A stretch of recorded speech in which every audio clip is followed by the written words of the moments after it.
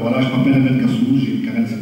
Je travaille au lycée de euh, j'ai voulu rejoindre euh, l'équipe de Marie-Christine pour euh, essayer de participer à son élan qu'elle a fait depuis 6 ans. Voilà, merci, messieurs dames.